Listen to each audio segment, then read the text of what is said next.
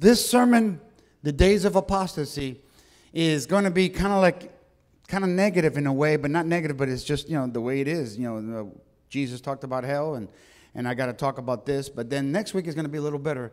Next week is going to be something related to Jesus and God and the Holy Spirit doesn't want you to go to hell. He, they're, they're, he's going to try everything possible to put people in your path, to put everything in your heart, to let the Holy Spirit convict you and get you to the point where you are. It's going to be difficult for you to say, "I earned hell." It's going to be very difficult. If you really have to understand that that God wants to make it as difficult as possible because He wants everybody to be saved. Amen. And uh, American Christianity is at, a is at a very dangerous place right now. Uh, American Christianity is at a point right now where, how can I say it? it? It's acceptable to the world, but not acceptable to God. And we're messing with our feelings too much. It's all about feelings. Well, I don't feel this. I don't feel that. And we're not abiding and we're not living based on what Scripture says. We're actually in a time that we're living in a pure deception. And, and America has become like that. The Bible says, My people, people like us, people that are Christians, that once accepted the Lord, my people perish because of lack of knowledge. And so knowledge has to continue to be conveyed and spoken from the pulpits, not, not sermons that are going to be to tickle your ears, but sermons that are going to convict you to walk in the fear of the Lord. And that's what God wants. It's not referring to this information age right now, it's the divine knowledge age that we need to tap into. And a lot of people are calling themselves Christians, but Christians and disciples are not the same thing. Disciples are those that do the will of God. Disciples are those that make Jesus their Lord, not just their Savior. Too many Christians are caught up with their feelings instead of the Word. And we're supposed to be caught up with the Word and not so much of our feelings. They claim that their feelings are from God, and in a way, feelings are from God. But they, if they contradict the Bible, it doesn't really matter. Sin is sin, and your opinion really doesn't matter. And that's the way it is. And, and, and this is what, when I'm talking about apostasy, I'm talking about believers that have been coming to church, hearing the word, praying, even tithing and offering, and all of a sudden sinning deliberately, their heart getting hardened, the Holy Spirit continuing to minister to them, and them basically turning their, their face from God and rejecting Christ this doctrine that's being taught out there that once saved, always saved, you know, yeah, I say it this way because it's very, very important that I say it right. You cannot lose your salvation, but you can forfeit and reject your salvation. Yes, it's not like you're going to lose it because you sinned. No. But if you are a Christian, that the Holy Spirit is knocking at your heart and you continue to deliberately sin, you and your choices are going to cause you to possibly uh, leave the presence of God. Because the same way that you accepted Him, same way you could reject Him. I'm not saying that you're a struggling Christian and all of a sudden you sin and you're going to hell. No, no, that's not what I'm saying.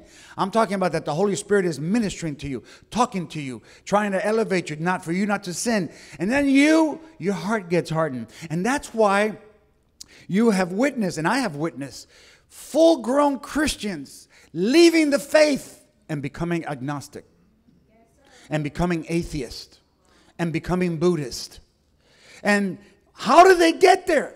Deliberate sinning, Holy Spirit trying to, uh, to speak to them, and them not receiving it, their heart getting hardened.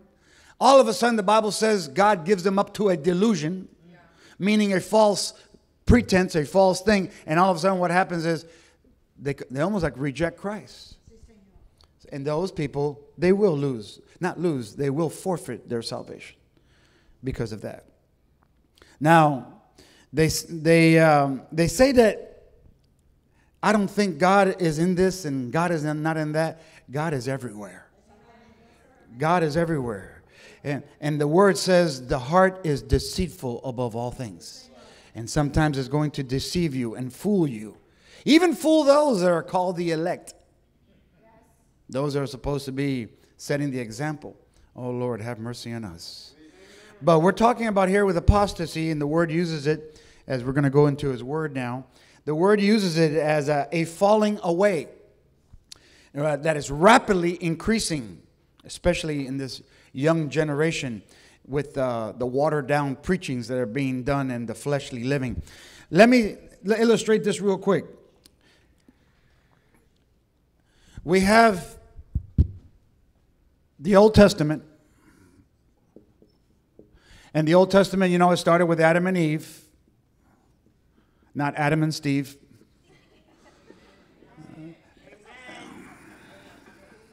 It started with Noah. And God, God was even ashamed that he made creation.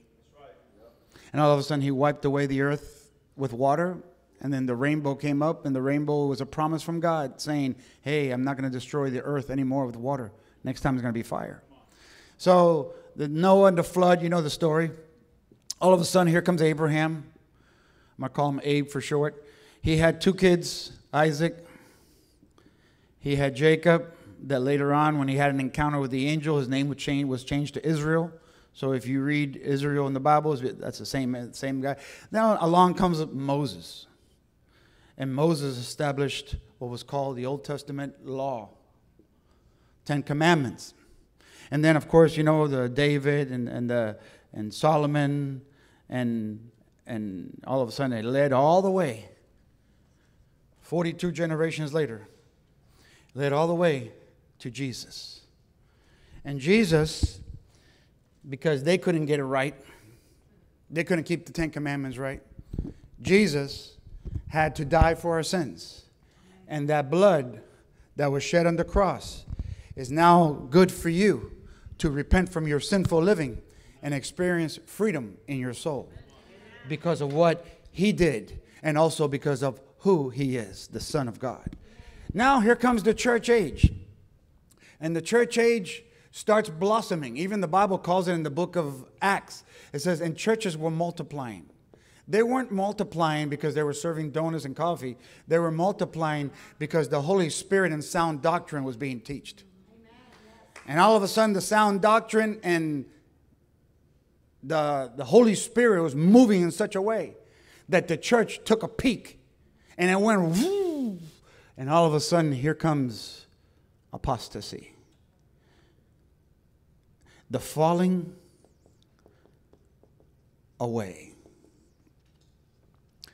And I don't know where we're at. We're here or we're here somewhere, but the bottom line is we're coming down.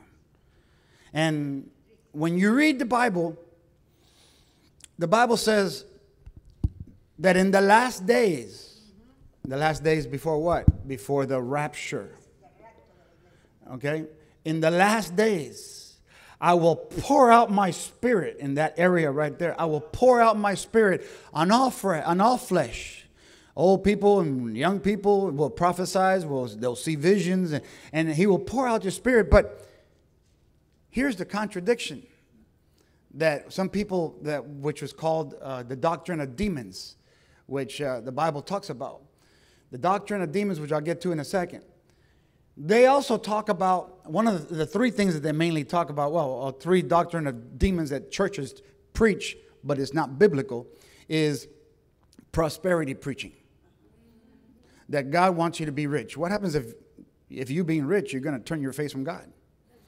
So that's not a right doctrine teaching, even though there's some pastors and they come on the TV and quite frankly here in Miami as well that teach about prosperity preaching and it's just about you prospering financially, but the heck with you prospering in your soul and your bodies and everything else. That's a false doctrine. That's a doctrine of demons. There's also another doctrine that talk that that's the ecumeni, ecumel, I can't even pronounce it. Ecumenism, that's what I And uh, th- that right there is a doctrine where Everybody's okay. Hey, come on. Come here, Buddha. Hey, come here, Muslims. Hey, come here, Hindus. Hey, come here, Catholics. Come here. And we're all one. And you see all these pastors selling out to this doctrine that is supposed to be one when God says separate. And do not conform with the patterns in this world. And so that doctrine of demons tries to come forth and and and bring hey, come on, we're all one. God loves us all. We're all his children. No. The Bible says in John 1:12, the children are those that do the will of God and are sons and daughters of God. The ones who receive Jesus into their heart and now live for him. So the thing is that sin it's not that you lose your salvation, like some people say. You don't lose it. Sin plus, I'm talking about habitual sin, what, what the Bible calls in the book of Hebrews, deliberate sin. Deliberate sin will eventually bring hardness of the heart. Of heart. But before your heart gets hardened, in this little area right here, the Holy Spirit is trying to prevent you from doing the wrong thing over and over and over and over. Yesterday, we had a leadership class here, which was wonderful, and we talked about that a cigarette smoker does not become a chain smoker and one that can't even leave the habit by just puffing one or two cigarettes into his mouth. No, it's habitually putting cigarettes into his mouth, and all of a sudden, boom, he's hooked the addict, the alcoholic, same thing. Boom, you're hooked. Anything, anything pretty much that you do for 21 to 40 days consistently, you get hooked. And it's good to get hooked on Jesus. Come to church consistently, you're going to get hooked on Jesus. Pray consistently, you're going to get hooked on Jesus. Read the word consistently, you're going to get hooked on Jesus. Jesus first over everything, and you're going to get hooked on Jesus. And so what happens is sin the Holy Spirit is trying to talk to you, but you ignore the voice of the Holy Spirit. You, you want to live life your way. Your heart becomes hardened. All of a sudden, the Bible says that you, in Second Thessalonians, that the, God will give you up a delusion. Meaning, like, oh, okay, you're going to fool your own self. And now you lie to yourself, and you become like a lot of Christians have become agnostics, atheists, Buddhists. I've seen it. They've gone back to their past and want nothing to do with Jesus? Hey, let me tell you about Jesus. No, man, I'm done with that. I don't want to hear it. And, and, and it's not now, it's not that they're sinning, because we all sin. It's now that they have rejected. So this is not losing. This is the opposite of what you did over here by accepting what he did at the cross. You accept him, you realize that he, he died for your sins, he went to the tomb, and he resurrected from the dead for your sins. So all of a sudden, the, the church age continues. Let me go back to apostasy. And the Bible says there's going to be a falling away before that. But he, here's the thing that, I, that uh, I was really getting into this this week. The doctrine of demons talks about, you know, the uh, ecumenism movement, that, you know, all this one world religion, that's false. But there's a lot of pastors selling out to that. The Bible talks about prosperity preaching. That's also not good as well. Those two things are not right either. That God doesn't want that. And then there's doctrines out there that are going on that are causing the falling away. The prosperity preaching, the, the that ecumenism uh, movement, and all that. So now the Bible says the falling away is going to happen before the rapture. And the, now you're going to have the tribulation Jesus is coming. This is seven years. Jesus is coming in the second coming, which is different than the rapture. The rapture, he touches the, the, the, the clouds, but in the second coming, he touches the earth. He touches Jerusalem, the Mount of Olives. All of a sudden, we're going to live on earth for a thousand years. We're going to be working. We're going to be doing our glorified bodies. Uh, there's going to be some movements here, come people coming over here. And then comes the New Jerusalem, which is eternity. But going to where I'm talking about today, right here, some people are going to are going to be rejecting Jesus, and they're going to have to experience the tribulation before they go into the thousand year, or maybe they they may not even come back. Who knows? Because it's very challenging once you receive the truth and you have tasted it. Salvation, all of a sudden, to go away from it and come back is very challenging. Let me read to you what 1 Timothy chapter 4 talks about this. Uh, the book of Timothy and Thessalonians are big on this, and we're going to be studying Timothy on Thursdays, Bible studies in the month of February. 1 Timothy 4, it says, Now the Spirit expressly says that in the latter times, we talked about that in the latter times, some will depart from the faith, giving heed to deceiving spirits and doctrine of demons, speaking lies in hypocrisy, having their own conscience seared with a hot iron. In other words, they have lowered their standards. It's happening right now. The eh, ecumenialism system is happening with the prosperity gospel that's being taught. And, and then here's the other thing that I want to share also. The Bible, and you got to break down the Bible here because the question I want to throw out you so you can think about this for a second is this. The falling away is coming, but in the book of Joel and in the book of Acts, it says, in the last days, God will pour out his, his spirit on all mankind, on all flesh. So, my question is which one is going to be which?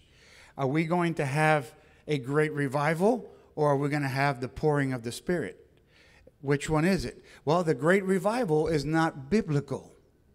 That's also a doctrine of demons that's false. So when people say, no, we're going to have a great revival and the whole world's going to be saved and all, all this, all this, let me teach you what the Bible says. The Bible says that in the end times, that in the falling away period, because those are three of the biggest lies that churches preach and me, as your pastor, your brother in Christ, want to let you know that there isn't going to be no great revival.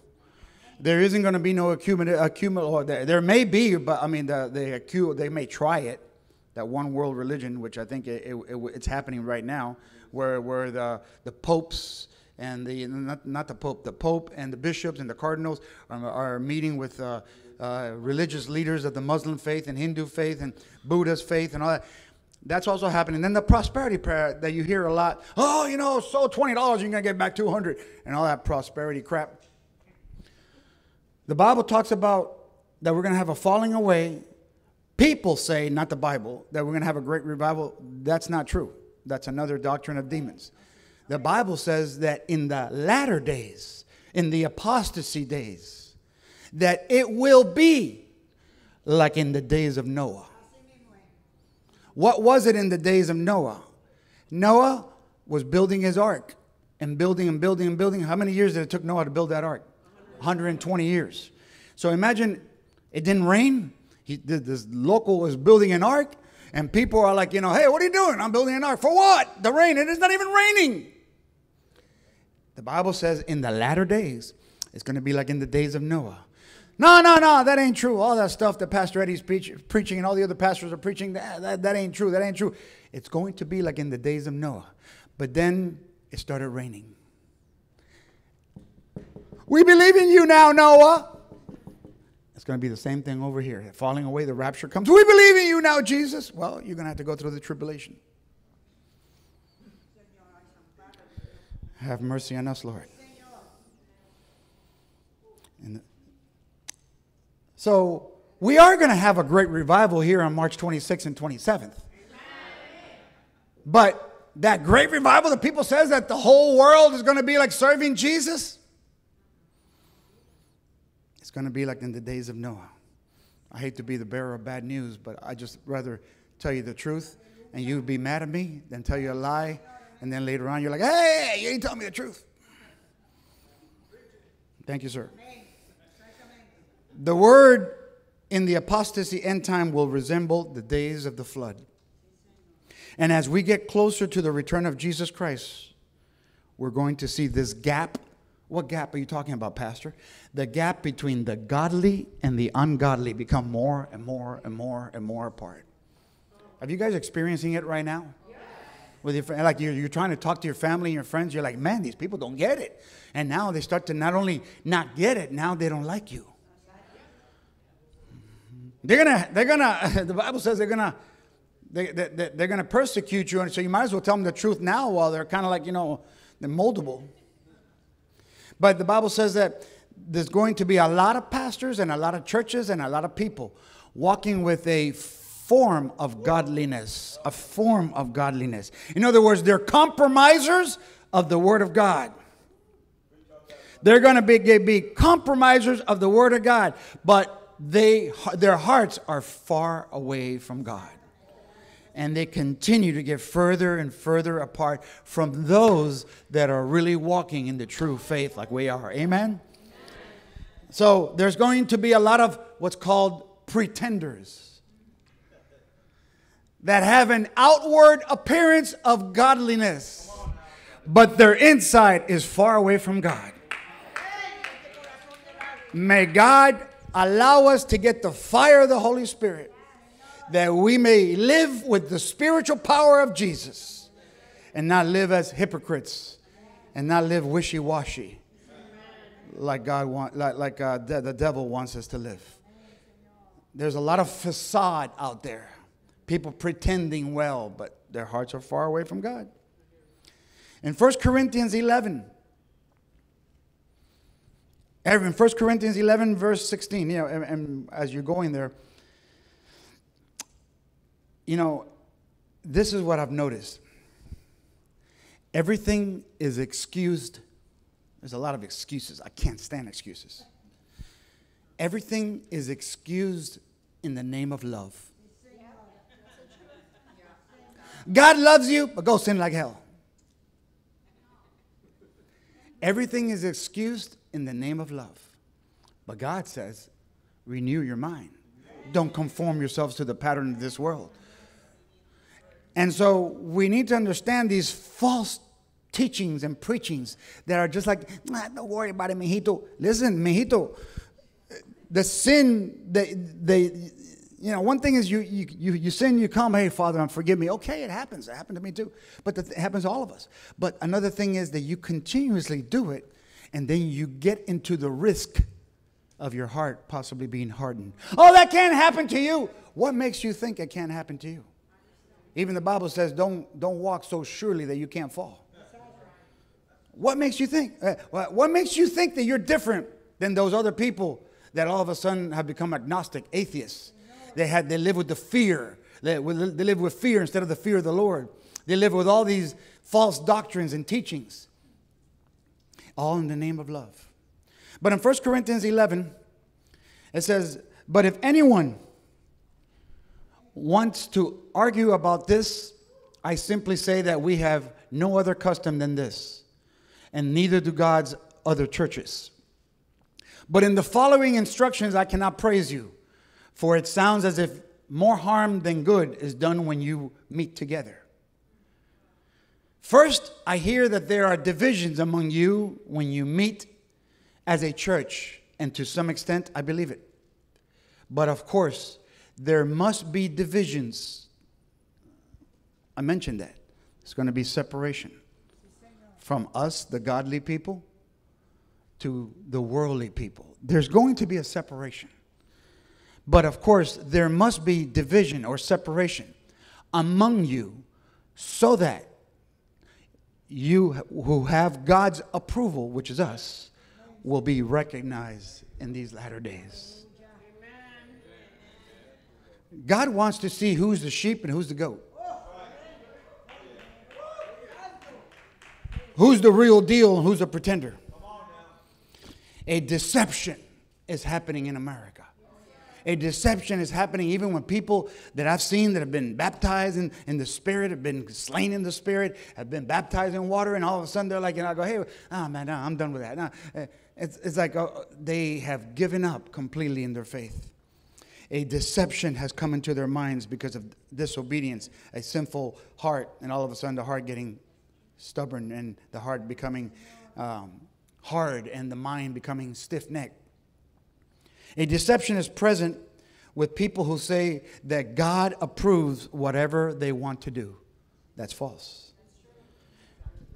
They, they sin like hell and then they ask God, God, what do you think? God is saying, no, you can't go there. But then they, ellos mismos, them themselves, justify their character traits they justify and they make excuses for living in sin when God wants them to stop it. And then when you're trying to tell them something, they reject correction. And when you're trying to tell them something, they leave the church. When you're trying to tell them something, they get easily offended. And then all of a sudden, you know, they, they even come after and talk bad and criticize and gossip about even the church elects. The Bible says that the Holy Spirit is the Spirit of truth. Amen?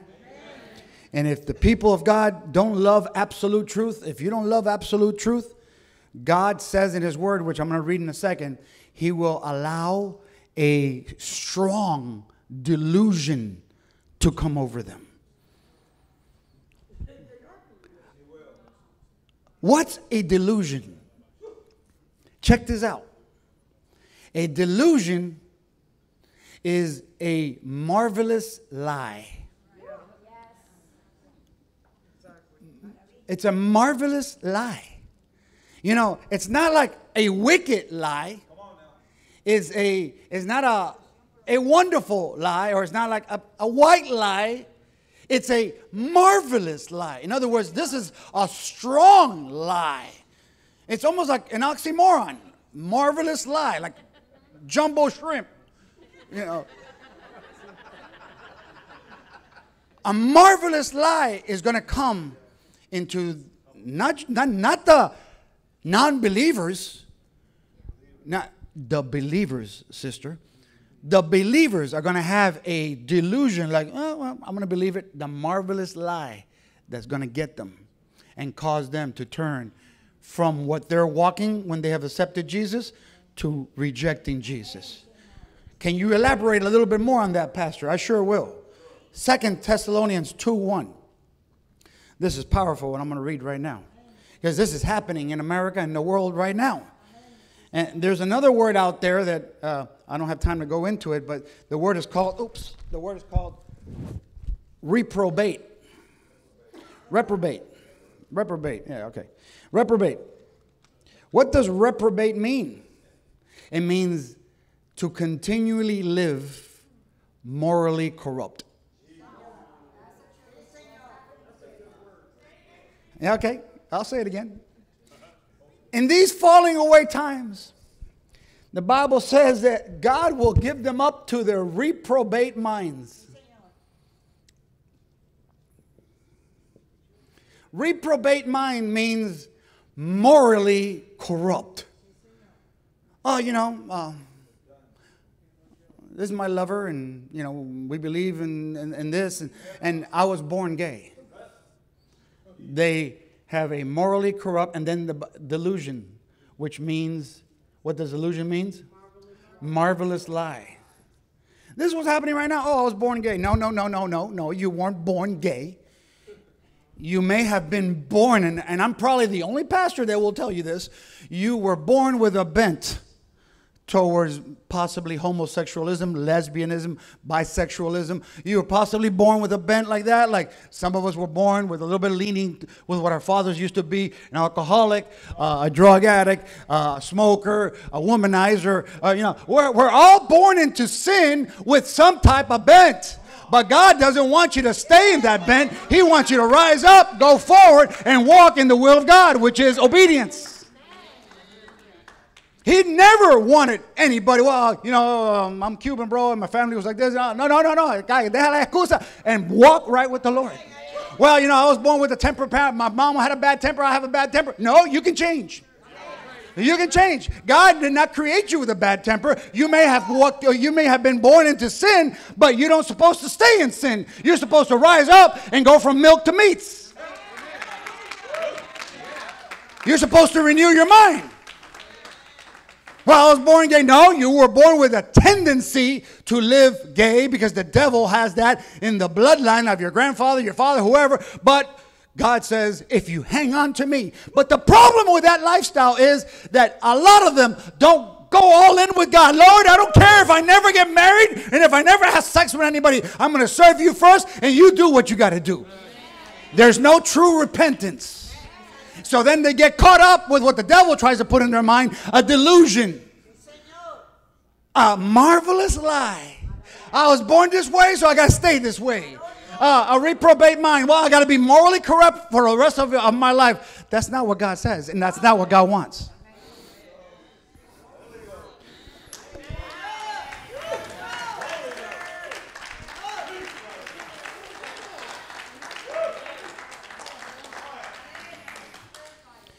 I'm going to lose some folks on Facebook, but that's okay. Bye bye. Second Thessalonians. Second Thessalonians chapter 2, verse 1, the great apostasy. Now, brethren, concerning the coming of our Lord Jesus Christ and our gathering together to him, we ask you not to be soon shaken in mind or troubled either by spirit or by word or by letter, as if from us, as though the day of Christ had come. Let no one deceive you by any means. For that day, what day, Pastor? The rapture. For that day will not come unless the falling away comes first. In other words, the rapture is not going to come until we have a falling away. Oh, America's going to repent. Oh, the world's going to repent. No, that's not true. It's going to be like in the days of Noah. Now, Rise Up Outreach Church is going to do all that we got to do to bring as many souls th- that were lost to the kingdom of, of, uh, of light. But we're not going to believe that uh, everybody's going to be saved. No, no, no, no. Most are not. And it's going to be a strong delusion, a marvelous lie a reprobate mind that are going to be uh, morally corrupt. And now all of a sudden, whoa, whoa, the whole world is going to be serving Jesus. No, Bible says the otherwise. When somebody says, oh, a great revival is coming, them, sir, with all due respect, the falling away is coming first, and the Bible says it's going to be like in the days of Noah. If you want to know how it's going to be, don't get people's opinion. Just read Matthew 24. It talks about it's going to be like in the days of Noah. So, where do I left off? Let no one deceive you, for that day will not come unless the falling away comes first. And the man of sin, who's that? The Antichrist, is revealed, the son of perdition, who opposes and exalts himself above all that is called God, of that, or, or that is worship, so that he sits as God, the Antichrist, sitting as God. He's alive already. In the temple of God, showing himself that he is God. Do you not remember that when I was still with you, we're going to read it until verse 12. Do you not remember that when I was still with you, I told you these things? Apostle Paul continues to bring it. And now you know what is restraining, that he may be revealed in his own time. For the mystery of lawlessness is already at work. Oh, yeah, we see it already. Yeah. All the executive orders are being signed. Only he who now restrains will do so until he is taken out of the way.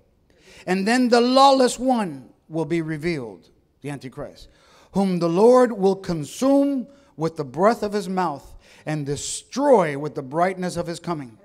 The coming of the lawless one is according to the working of Satan, with all power, signs, and lying wonders, marvelous lies, and with all unrighteousness, deception among those who perish because they did not receive the love of the truth, absolute truth, that they might be saved. Verse 11. And for this reason, hear me out now. And for this reason, what reason? Everything that I've just finished reading. And for this reason, God, not Satan, God Okay, you don't want to serve? All right. You want to just do what you want to do? Okay. You don't want to change your mind? You want to live with your reprobate mind? Okay. God, not Satan, will send them a strong delusion that they should believe the lie. Not Satan, not demons, not your cousin. God will give them a strong delusion that they should believe the lie. Se creen la mentira ellos mismos. They believe the lie themselves. In other words, th- that's why don't harden your heart because you start believing the lie. That in verse 12, that they all may be condemned. That means sent to hell. Who, who did not believe the truth, but had pleasure in unrighteousness. Wow. It's, it's kind of quiet in here. Kind of quiet in here.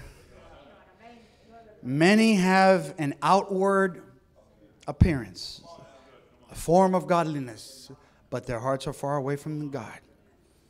They're living in a facade. They're living in a fake lifestyle. A lot of people pretend well. Have you noticed? How you doing this morning? Oh, I'm doing good. No, you're not. You're a chameleon.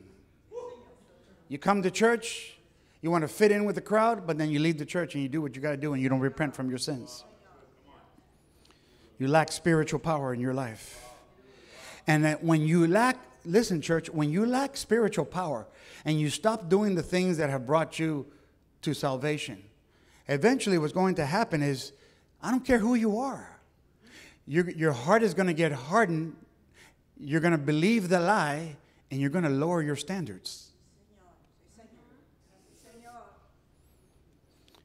Lower what standards, Pastor? You're going to lower your standards to live however the hell you want to live. You're not living with Jesus as Lord. You're living with how you want to live. And many people right now are asleep. And they're not receiving this. And maybe you watching online or hearing me on the radio, you, um, I'm okay to, to, to receive a difference of opinion, respectfully. But I'll let you know that a lot of churches are not preaching these things. Everything's about Jesus and Jesus. Okay, Jesus is wonderful, but then what? Last week we talked about now what? Okay, you received Jesus, now what? What are you going to do? Are you going to continue to live ignorant? Are you going to continue to live uh, spiritually dead? Are you going to continue to live spiritually illiterate, biblically illiterate? No, I hope not. With, I hope we can grow, church, to be a church that chases absolute truth with everything that we have. My people are destroyed because of lack of knowledge. You know the word. Pastor, you're not being, you're not being, can you be a little more sensitive, please? Mm. Okay, I'm going to preach it, sir. May God show us the truth, even though it goes against our feelings. May God give us the strength to do truth, even though it goes against the lie that you have believed for many years that you were born this way, that you're this, that you will never get out of that addiction, that you will never get out of that lifestyle. Eh, may God show you the truth that goes against feelings, that goes against cultures, that goes against traditions, that goes against what you've always believed. God has surrendered you to a delusion que tú mismo you, you believe it yourself. I want you to say this with me God, show, me the truth, me the truth at whatever cost, at whatever cost. in Jesus' name.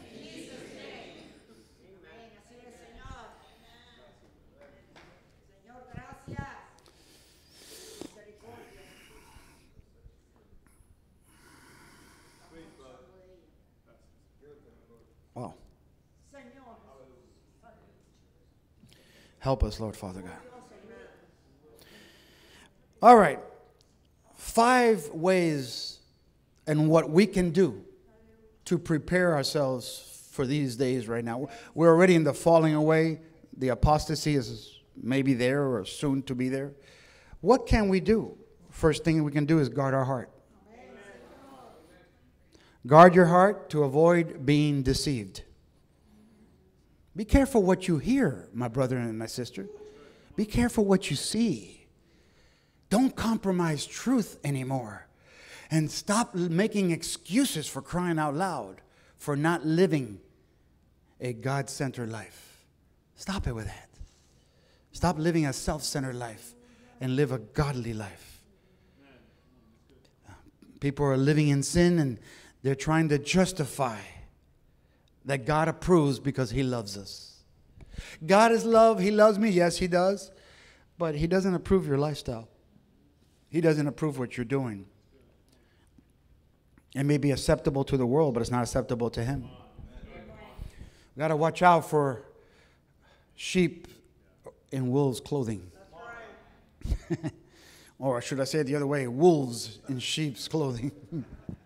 Eh, the, the, the people that have a, what's called a Leviathan spirit, that they twist the word, they distort the word. Rather than teaching the world to conform to Christ, the organized church is conforming to the world. The world is, we're not supposed to conform with the world. We're supposed to renew our minds and, and stand apart. The devil is very crafty. He's a very slick man or dude, whatever the heck he is. Uh, he's a snake. He's very crafty. And you want me to tell you something? You people think that the devil's like a with a pitchfork and he's out there, you know, trying to, you know, uh, you know uh, the red suit and what? No, no, no. The devil is extremely organized. He's extremely strategic. He's extremely patient, waiting for you to just have a little opening, a little crack in the armor, a little crack in the window, a little crack in the door for him to get in. He is very organized. God wants you to resist him so you can have the victory and live free. But hear me out. He's a very organized fallen angel, the one that was in charge of the worship in heaven. Lucifer, now it's called Satan. He's very organized. And an organized devil will never be defeated by a church that's disorganized. We need to teach sound doctrine that's organized. We need to be organized with our finances. We need to organize ourselves with our time to be punctual. We need to be organized soldiers. Yes, sir. Reporting for duty, sir. Because a organized devil will never be defeated by a disorganized church. That's why 422 churches went down in November. I'm, uh, you know, like some of them, I'm sure were mm, they sh- maybe it shouldn't have happened. I don't know, but a lot of them were probably disorganized. A lot of them experienced the, the COVID and the shutdowns and all that. But I lack of faith. That's another one. A lot of things. But why did we prosper? Because God was with us, and we live by faith. We're organized. We come against Him because we want things in here in this church to be done with reverence and organized. And when we operate like that, and of course, a spirit of unity or the unity of the spirit, we want to operate like this because when we live like this as one, we're powerful. And no matter what comes out of those gates, we're going to be def- we're going to defeat them, so help us God. Somebody shout amen. amen. Hallelujah. Satan and his satanic powers desire to overthrow our faith. That's why a lot of the falling away, people are, people's faith are dying. They're falling. And all of a sudden what happens? Unbelief creeps in their head.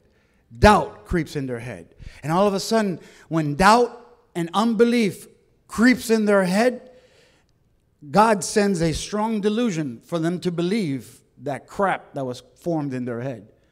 And when that happens, the heart is hard, and all of a sudden, people going from to atheism, Buddhism, agnostics, people that were once Christians, you talk to them now, and you're like, well, you know, I, I think the word was written by God, by God, but you know what? There, you know, it was also written by man, and they start believing the lie.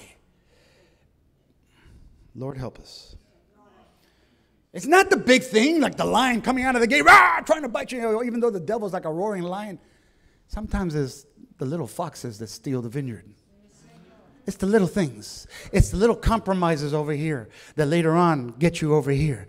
Nobody starts to become an addict living under the bridge with a with you know uh, smoking you know crack and right from the get go. No, we start with a little bit, uh, a little a little alcohol, uh, a little weed. Uh, all of a sudden, boom, heroin, meth, crack, or whatever. The, they believe their lie. No, it's not going to happen to me. I'm not going to get caught into that. Lord, help us.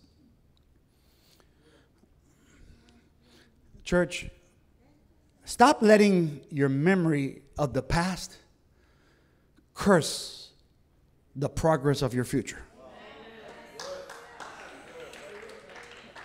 It happened, it happened, you sinned, let it go. Let it go. But as we get closer to the return of Jesus Christ in the rapture that I got there written, we're going to see a huge gap between Christians and non Christians. Number two, and what can we do to prepare for the days of apostasy? Keep hearing the word of God and increasing in sin. Not continuous sin, increasing in faith and not continuing in sin. Increasing in faith.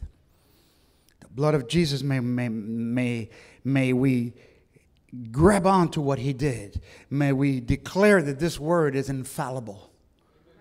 That this word is what needs to really be in us. Revelation chapter 2, verse 4, it says, But I have this against you, that you have abandoned the love you had at first.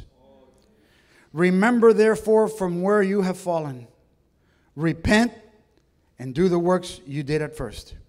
If not, I will come to you and remove your lampstand from its place unless you repent. And the word repent has become these days offensive. Hey, listen, listen, you got to repent from that. Oh, don't judge me. I'm not judging you. I'm not saying you're going to hell. That's not my job. But you do need to repent. Even with preachers, do you hear repenting from the pulpits anymore? Hardly. The truth is, unless we are confronted with our sin, and we confront it, and we repent, we will never be delivered from it.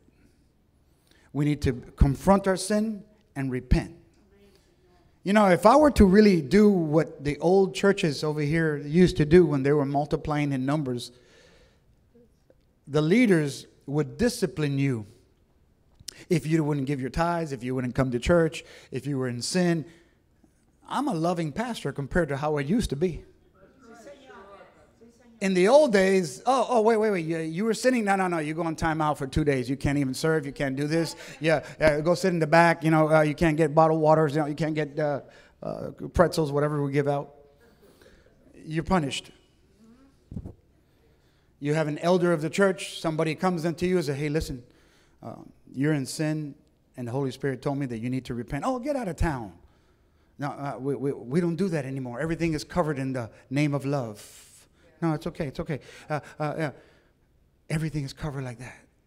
But God, but so I'm not going to be, I don't, I don't feel comfortable, but if I have to say it, I will if the Spirit tells me so. But this church discipline that used to be in the days that the churches were multiplying doesn't happen anymore. And maybe if it did, people would take it serious. Because when you were a kid, thank God your parents disciplined you.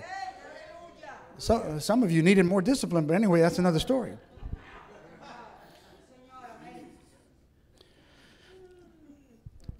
I just want us that when that time comes, that when that time comes, that Jesus is coming in the rapture. My question to you this morning, church, and those watching online and hearing me on the radio a few simple words. Is your name registered in heaven? Is your name registered in heaven? Or have you departed from God? Or you need God in another way? Is your name registered in heaven? Because if it's not, you may be caught up with the falling away. Well, in Luke chapter 10, verse 20, it says so. It says, But don't rejoice because evil spirits obey you. Rejoice because your name is registered in heaven. Somebody shout, Amen. Am I the only one going to heaven? But let us continue, church, to hear absolute truth.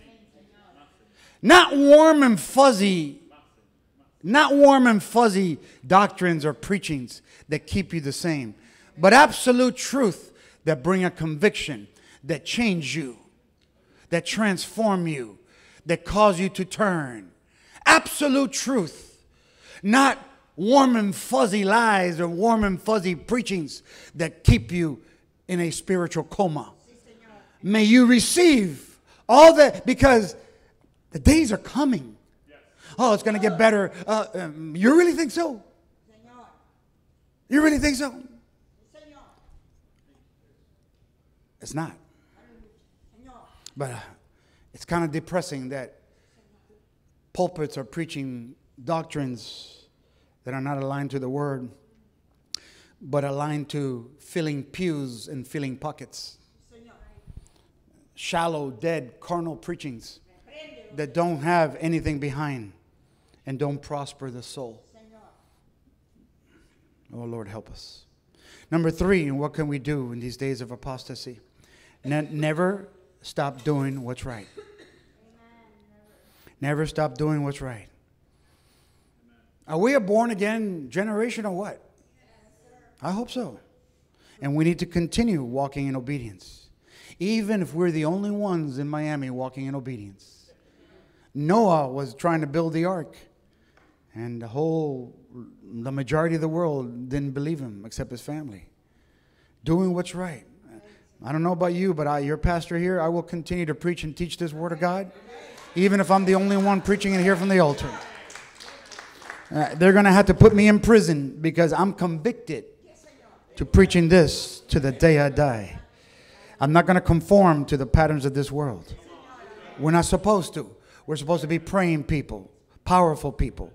And, and the gospel that the Lord Jesus and his apostles believed in, the gospel that he, they believed in, was a gospel that was preached with power, not cotton candy.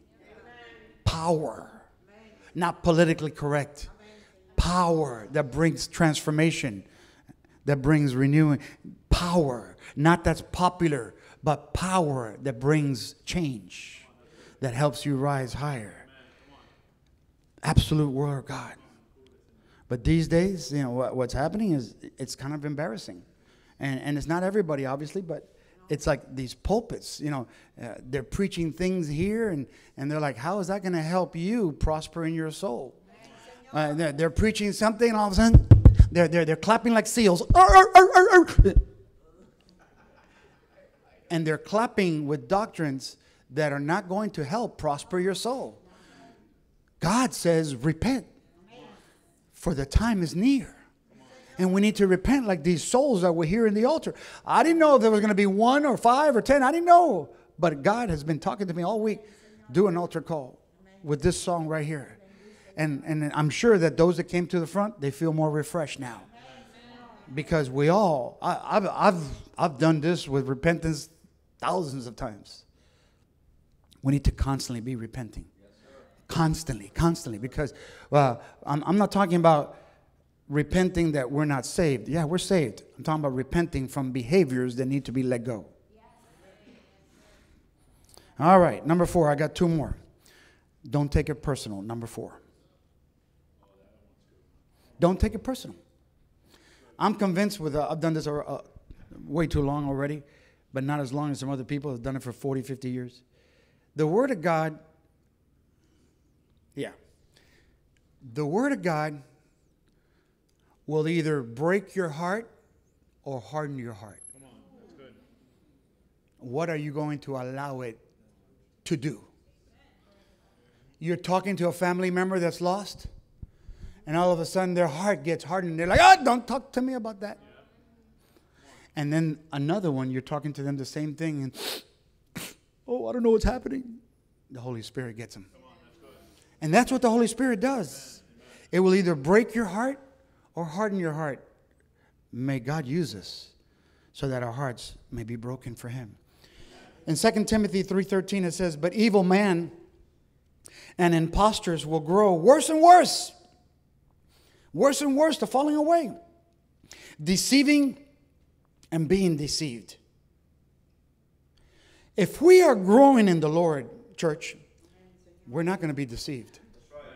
If we are coming to church consistently and we're putting God first, we're not going to be deceived.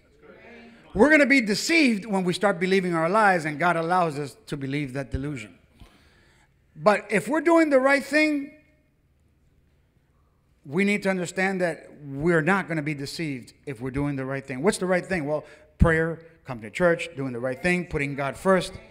Many will mock preachers in the end days. It's happening now. You post something about God, whatever. Hey, man, can you just keep it, you know, keep it. Even family members and people that at one time will give a kidney for you, now they won't even give an eyelash for you. The true church of Jesus Christ has always been plagued by apostasy, but nothing like in the days that's going to come. We need to be ready. I'm glad that I'm warning you. Because maybe one day when, when, you're, when you started seeing it, you're like, oh. And carnal tendencies will continue to rise. Mega churches with those uh, prosperity preaching and what's uh, superstar charismatic preachers are, are going to go down because they're not preaching the Word of God. They're promoting themselves over and over and over, but they're not promoting Jesus. Oh, Lord, have mercy. Many preachings, what I call security in sin gospel, or like one of our sisters, uh, uh, she used to call it seeker friendly gospel. Listen, thinking that you are eternally secure and not doing the will of God is dangerous grounds. We need to really know that God is with us and continue to teach sound doctrine, not politically correct doctrine. And lastly, as we close, ask for wisdom. Ask for wisdom. Wisdom is the spirit of truth.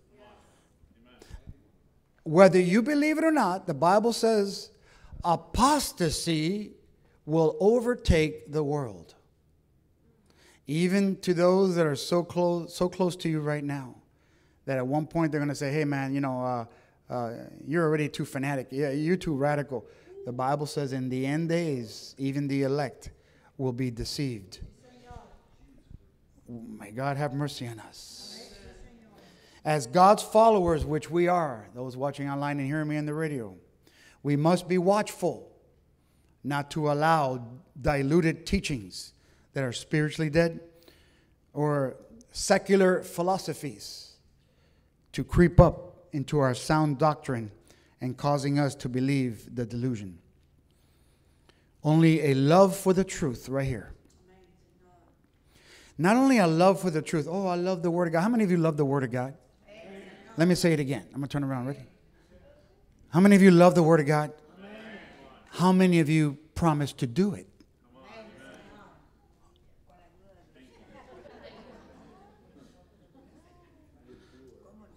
How many, let, let, me rephrase the question again. Um, how many of you promise to do it? Raise your hands. How many of you promise to do the will of God? Raise your hands.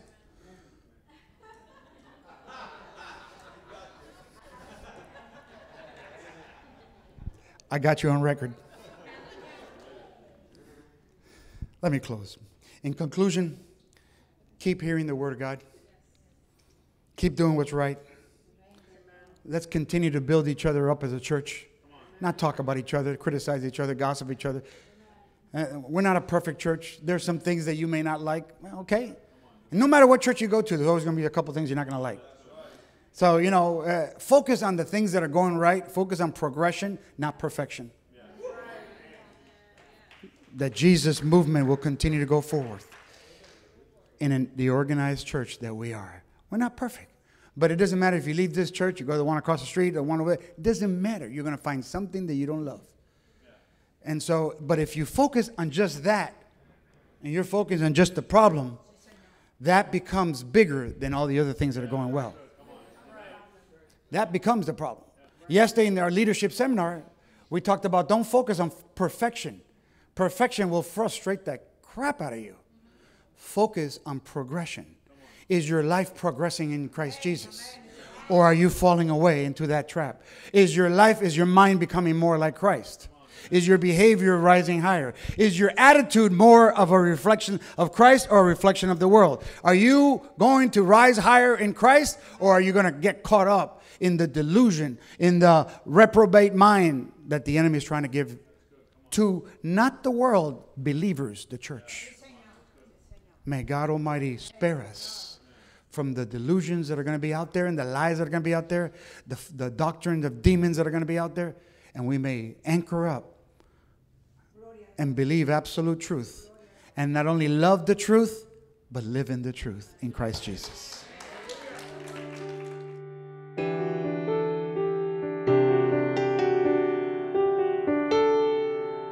Thank you for joining us. I pray and hope that tonight's message was well rooted in your soul. You know, this ministry has been given a God given vision for our community right here in Miami. It's a vision that's going to be called Rise Up Outreach Center. That's going to be helping teens with their teenage issues. It's going to be helping relationships that are struggling, uh, people that are struggling with addictions, uh, all kinds of scenario. For more information, just visit our website right now. But what we need is your support for this vision. This vision is going to be costly. It's going to take a lot of manpower. It's going to require a lot of resources. And you know what? We need you. The gospel is free but in order to advance it requires resources. The kingdom of God, in order to be impacted further, requires people to step up and give, requires people to step up and work. The information to give is right there on your screen. You can also go to the website under donate and give through that channel as well. Thank you for your support. God bless you, and I'll see you next Thursday.